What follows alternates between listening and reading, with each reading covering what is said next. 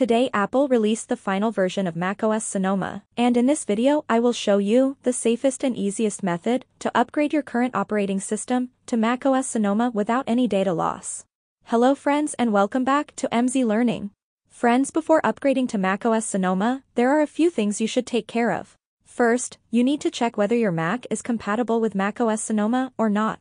For your convenience, in the video description, I have provided a list of computers that are compatible with macOS Sonoma.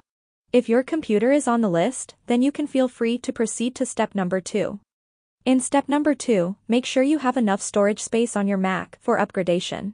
To successfully upgrade to macOS Sonoma, your Mac needs 30 to 40 GB of free hard drive space. Step 3, back up your Mac. Although it's a very safe process, but it's always a good idea to back up your Mac before installing any major software update.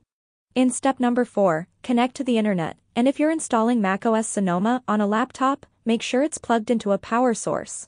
Everything is okay, let's upgrade to macOS Sonoma. Click the Apple menu in the upper left corner of the screen. Then click System Preferences.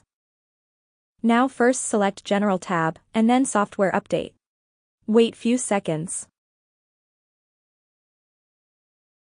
And here is macOS Sonoma, and a long list of his new features.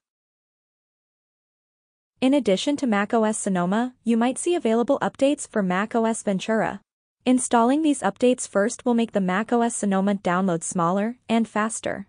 Anyway, scroll up and click on Upgrade Now button.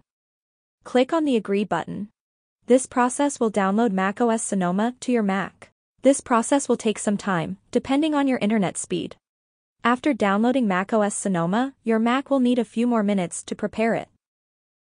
After that, your Mac needs to restart. You might be asked to review and accept the terms and conditions in order to continue, and enter your administrator password. Anyway, after restarting, the second process of installation begins, which takes a few more minutes.